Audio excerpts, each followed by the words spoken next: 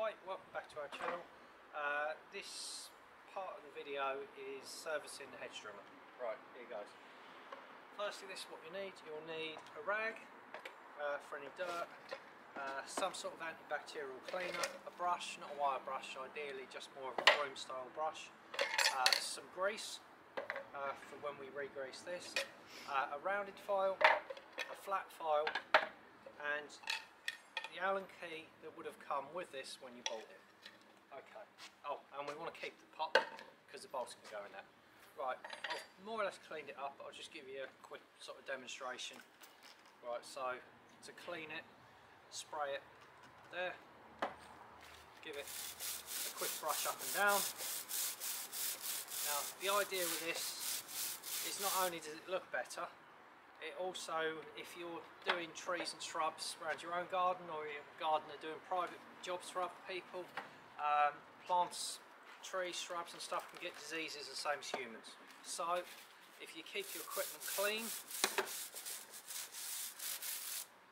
and do it regularly, then you will not be spreading diseases around other people's gardens or your own garden. So anyway, right, basically this is Right, more or less clean already. Okay, we'll flip it over. Right, it never looks brand new. I'll bring it closer to the camera so you can see what it sort of looks like after you've been using it a while. Right, so if I bring it close, right, that's that's fairly clean. The, the metal sort of stains, so that's the back bit.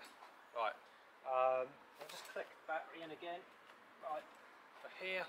Right, now if you listen to it, it's this is what it sounds like when it starts needing a little bit of oil. Alright, so I'll rev it up.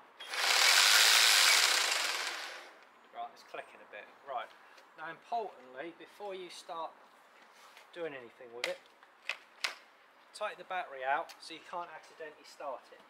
Right, so the battery's out again. Right, now, with this as well to make it easier, unclip from the engine unit Right, and now we turn it upside down on our table. Right, and this Allen key that you would have got when you bought this unit, right, you need to undo all these bolts. So I'll bring it close to the camera again. Right, we got one, two, three, four, five, six bolts. Now, when we're undoing them, obviously it's easier to put it on table first. Remember, if you want to loosen them off, loosey lefty, righty tighty, so turn it to the left, it will loosen. Alright, it's going to take a little while to do all of them, so what we do now is we're, we'll pause and then we'll jump cut to when it's undone and then I'll show you how to grease it.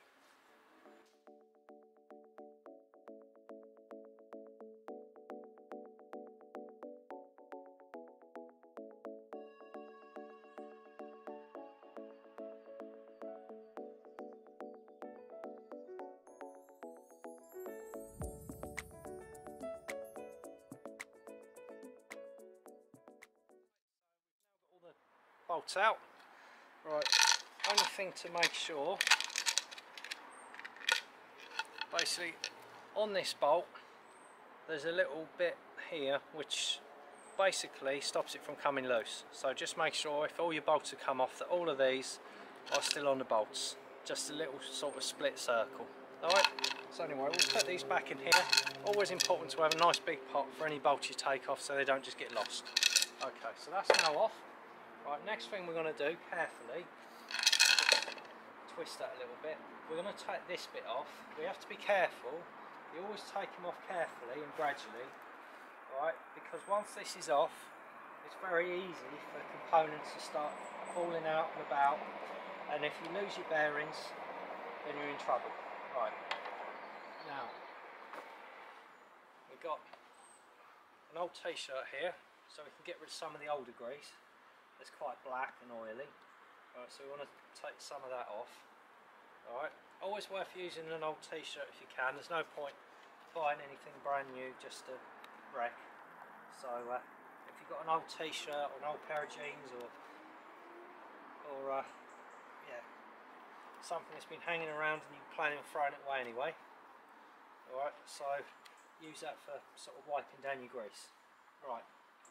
Anyway, that's uh, that's most of the grease that's easy to get to about. Right. Next thing, grab hold of your grease.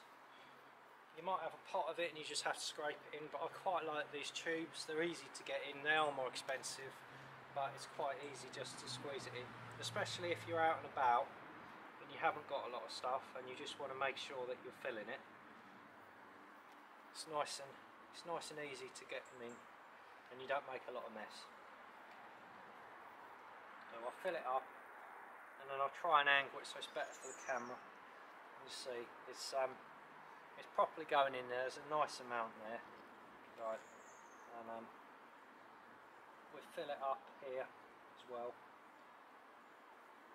There's no point using a tiny bit of grease. You might as well fill it right up, and if there's a tiny little overspill, we've got a, a rag there so we can wipe it down afterwards. Right. So.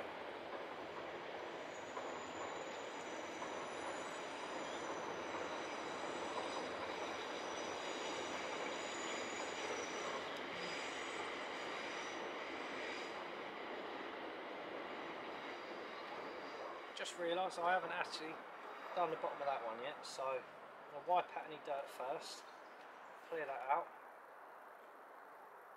Okay.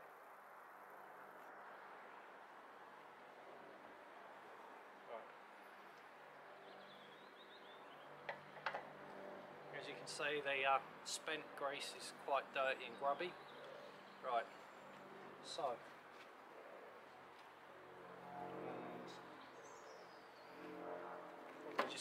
an end of a file because there's a little bit of leaves and stuff just caught in the very end. Just flick them off.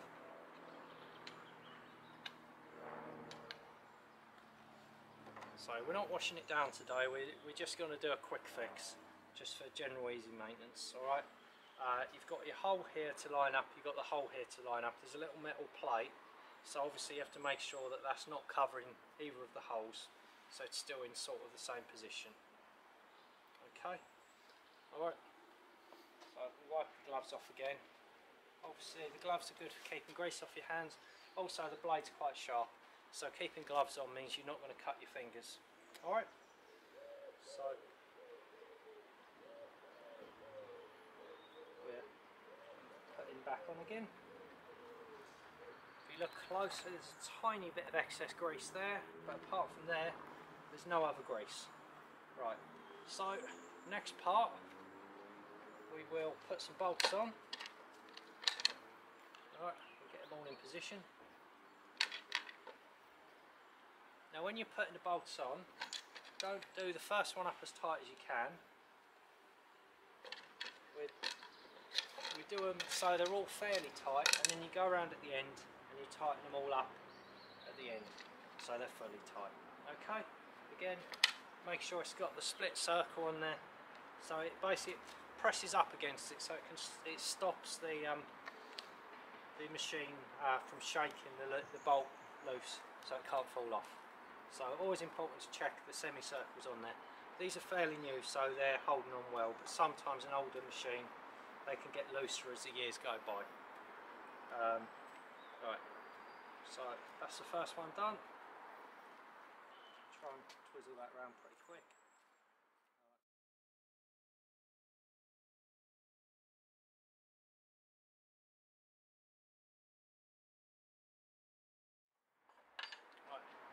Okay, it's now all attached. Uh, right, so the next part, I'll just show you um, with it plugged into the, well, not plugged in, slotted into the machine. Okay, so we slot into the machine, just so you can hear the noise difference.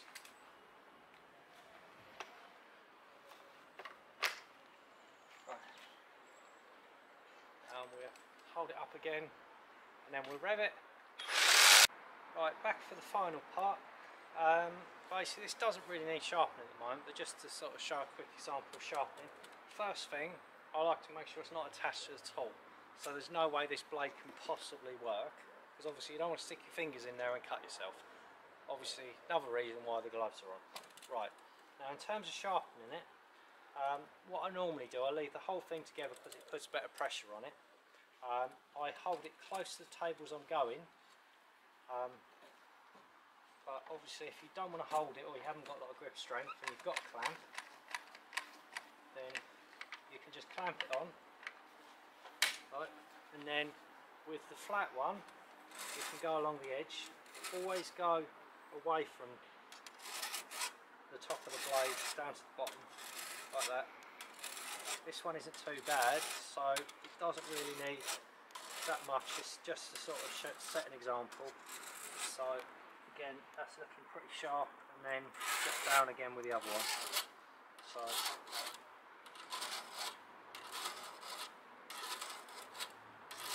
uh, there you are. And then if you want to sort of do the centre bit, get a rounded file, same sort of thing, going down, not not back and forth, just down.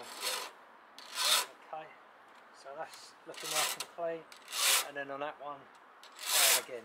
Obviously, you can do all the ones all the way along on this side, but because you're going to have to then flip it over and do that bit, and you're going to have to do this side, so you're going to have to do this side, this side, then that side at the bottom and this side at the bottom. So each bit here is four different files you might want to just take it to uh, your local um, sort of centre that sells these appliances and get them to sharpen it. And just because they don't necessarily sell this particular hedge trimmer if you're sort of um, just a domestic sort of gardener who just wants it sharpened every couple of years it's probably worth just taking there and getting them to do this bit because it's quite time consuming.